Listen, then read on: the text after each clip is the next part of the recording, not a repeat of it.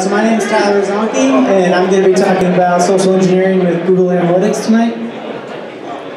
Uh, a little bit about me. I'm from Omaha, Nebraska. Uh, I graduated from the University of Nebraska at Omaha with a degree in information assurance.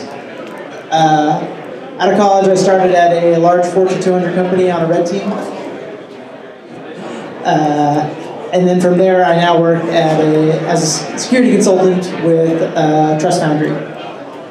Uh, in my spare time, I like to run my blog at zonketech.com, and then in addition to that, I like being outside, taking pictures, and riding mopeds. So a lot of you are probably familiar with what Google Analytics is, but for those of you who aren't, it's a platform provided by Google uh, that allows domain owners to track users on their site so when they got there, how long they've been there, what pages they've gone to, so on and so forth. This is useful for organizations because it helps them decide what content and maybe what products or whatever service they're providing on their website. It gives them some insight into what their users are looking at, and then it's useful for them to help make decisions. Uh, it primarily works on the fact that uh, a refer header is sent along in HTTP. So it says, you know, I'm on this page and you clicked on a link and it goes to the next page. Well, that next page knows where you came from. And so Google collects all that information and then can sort of paint a picture of what a user did while they were there. So inside the Google Analytics portal, um, it looks something like this. Uh, you can see the domains there on the left. Sorry if that's pretty small. Um, you can see, you know, they they got 82 clicks from Google, and while they were there, 84% of them were new users, and while they're there, they spent you know an average of this amount of time. And that gives you an idea of what sort of information you can derive from it, and that's what people use to make decisions about their website. Um, so I run Google Analytics on my blog, and I've noticed every once in a while you'll get some weird traffic. So you'll get things from like freetraffic.xyz or socialbuttons.xyz or make money online you get it. Uh, clearly, this isn't legitimate traffic. People aren't coming to my blog from these sites. Uh, so it's spam of some sort. Um, and whenever something like this comes up, I always try to think about if I was a bad guy, what would I what would I use this for? Uh, how would I how would I use this for bad things? And so, how could I use this for evil? If I was going to use Google Analytics to do nasty things, I would perform some open source intelligence gathering on a target, so the organization that I want to go after, and I build a dossier about what that company does. You know, figure out what their customers are, you know, figure out how they make money, just really try to understand what their business is and why they have a website. And from that dossier, I can start to think about things that they need, they might be interested in. And this is standard for doing any social engineering attack, is you really need to understand your target and then you can trick them into doing whatever you want. So after you understand who the target is, you start thinking about things that they would want to click. And in this particular instance, you have to think about things they'd want to click from a Google Analytics perspective, which is a web traffic perspective. And so what that means is that let's say I want to go after like a retail company. Well, a retail company is probably interested in point of sale vendors, and vice versa. Point of sale vendors are probably interested in retail so if I wanted to go after a retail company, I would set up a site that looks like a point of sale vendor, and then tons of traffic comes from that point of point of sale vendor site. They're going to be pretty interested in like, why is all this traffic coming from this point of sale vendor? And you, you know, we can go down the list. If you're a university, you know, if you got linked to an article, it's like top 10 colleges in Missouri or what have you. Uh, and after you build that out, the next step is to, now I got to add some sort of exploit to the site I'm building whether it be an HTA attack, uh, a credential harvest, or maybe the particular, particular target you have has a cross-site request forgery vulnerability, and you know about it. And so if you can trick someone that's authenticated to that site, you can maybe pull something off. Uh, and maybe you're interested in cross-site scripting, which you could put a beef hook on it.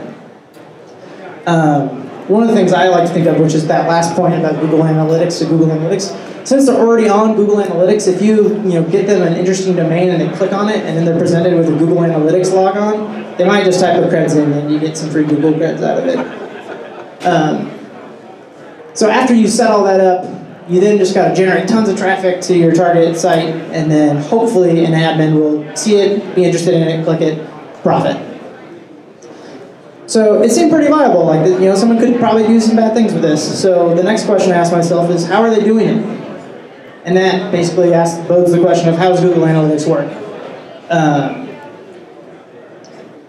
when you set up Google Analytics, you get this unique identifier, which is basically um, how Google knows what site it's tracking. And they give you a little snippet of JavaScript that they ask you to put on every single page that you want to be tracked. Typically, people put it in the header or the footer because that's on every page already. Um, and when a user comes to your site, that JavaScript executes, pulls down an even bigger script, and that script grabs all sorts of metadata about the user, how long they've been there, where they're going, how they got there, so on and so forth. Um, and then they collect all of this data and they can start painting a, pitch, painting a picture about how, you know, what a user did while they were there. Um, so if I want to do that, uh, so when it pulls all that down, it makes a request to googleanalytics.com slash collect. Uh, so if I want to do that, I have to figure out how that request is made, and there's two options for doing that. Option one is I reverse the JavaScript, and I looked at it once, it didn't look like much fun. Um, option two is Google will have awesome documentation out of the gate, and they do. Um, and the reason for this is, is that with the ever-growing popularity of single-page applications, this whole refer paradigm to build a picture about how a user's acting on the page doesn't work anymore because the page isn't reloading every single time. So they made all this documentation so that developers of these applications can still use Google Analytics in a meaningful way to them. So what I learned is, after looking at the documentation is that there's a certain set of required parameters uh, the first of which, and sorry, that is really small, um, is the protocol version, which currently they're on one, so that just has to be there, and it's always just one. That unique identifier we talked about earlier, this is so when they get the request, Google knows whose traffic this belongs to. Um, and then a client ID, which is actually an interesting thing because this is the unique identifier for each user. Um, and it gets randomly assigned to you, and this is so they can track you from page to page. So they know, you know user one was here, and then they're here, and then they're here, they can track you throughout the pages. Um, the next is page view, which is the most common type of hit type. There's some other ones like screen view or event view. And it goes back to the fact that Google wants to kind of let people use this to their best bidding. So if you're writing, you know, hitting this, you can choose some different hit types, but we're really only interested in page view. That's the default one. The next three parameters are all about what page you're on. So the host, the path, um, and the title of that page. So they know what page you're on. Um, and then the next thing is what we're most interested in, is that, and that is the document refer, the page you came from. Um, and the last thing was a parameter called anonymize IP, which says when present, the IP address of the sender will be anonymized. Well, I don't know, that sounds pretty good, so we'll just throw that in there. Um, so I opened up Burp, threw a request together, uh, and I said, you know, there's some traffic coming from fakedomain.com. And I sent that off, and Google said, okay, and gave me some gobbledygook back. But it was a 200, so it seems good. Log into my Google Analytics, and sure enough, it says there's a user on my site right now from fakedomain.com. So you can spoof it. That's pretty cool. Um, but it's not really useful in and of itself, you kind of got to be able to do it a lot and really fast. And so that leads to the inevitable, which is automation. And whenever I want to sit down and write something, I'm usually kind of got to consider your user and what they're going to be doing, and if it, you know, should it be a standalone thing or should it go into a framework? And anyways, uh, Social Engineering Toolkit exists, and it's a framework that's all about social engineering tools. And some of the exploits we talked about earlier, like HTAs or credit harvests already exist in the social engineering toolkit. So you're probably going to be there working anyways if you want to pull something like this off. So it makes sense to write module for that. Hey Tyler. Yes. We have a tradition here at SecKC. What's that? First time you take, uh, first time you talk, you gotta take a shot. Yeah. Yeah. Was it tequila? No, I think it's Fireball. Uh, so my social engineering toolkit sounded like the best thing, um, so that's what I did. plus, it was written, it, it's Python, which is the best scripting language there, so that made sense. So I'm going to give you a quick demo of the script I wrote. Or is it? I'll just hold this.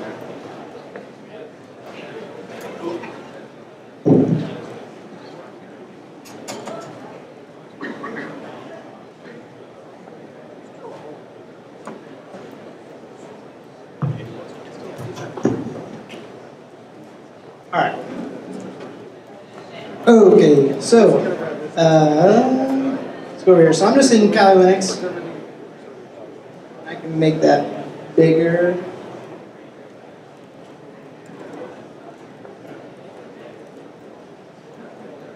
All right, so I'm using Kali Linux. Um, this code is pushed out to the official uh, Social Engineering Toolkit repo, so you should have it if you use Kali Linux. First scale load Social Engineering Toolkit. My module exists in the third-party module, so we're going to go there. And then Google Analytics attack. And it's going to pull in some modules that uh, the framework doesn't use, but I wanted to. Um, so I have two modes. Uh, the manual mode basically is what it says. You manually enter all the parameters, which that's not very useful because you have to, you know, it'd be the same thing as making the request manually. So the automatic mode is what you really want, and what that does is it makes a single GET request to the target page, and from that GET request it pulls out the unique identifier and all the metadata about the page. So I'm going to pull down a page uh, off my blog. We're to use that. Auto. There's the page. And so right now, that little pause there was it making the GET request and pulling everything out. And at this point, uh, if there's any problems getting the unique identifier, unique identifier or anything like that, it would, it would tell you that there's a problem.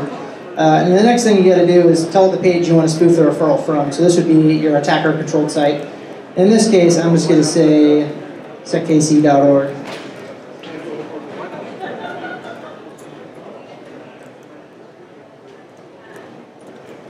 So then we have the option to look at the payload, um, which is basically all the parameters, and we'll just take a look. And something I mentioned earlier was that CID, the client ID, is how they track you from page to page. Uh, it's very important that this ID is randomized because if it's not, it's going to think the same user is just refreshing the page over and over and over. So the script will automatically change that every single time. So if we hit enter, uh, payload sent got kicked off.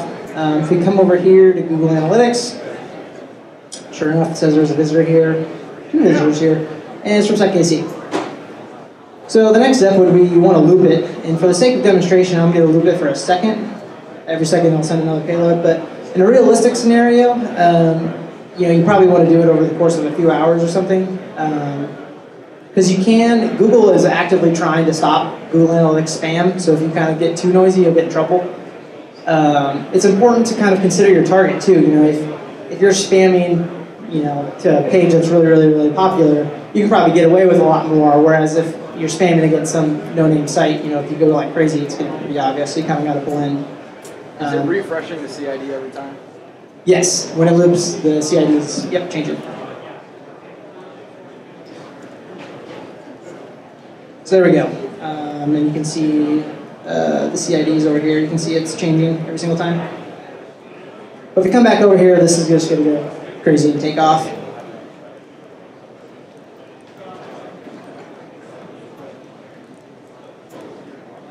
So yeah, that's that. Uh, that's the demo. Um, when I first came across this and started thinking about it, it was probably back in September. And uh, let me pull the mic up here. And I blogged about it. I made, published it on September 25th. Talked about it.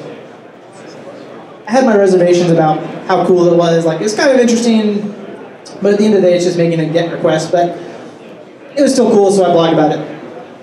Um, a few months later, an article like this came out. And immediately I was like, wow, I did something cool. Like, other people thought that was great. Yes. Um, but what it also told me was that when I set out on this little bit of research I did, I was primarily interested in using it for phishing.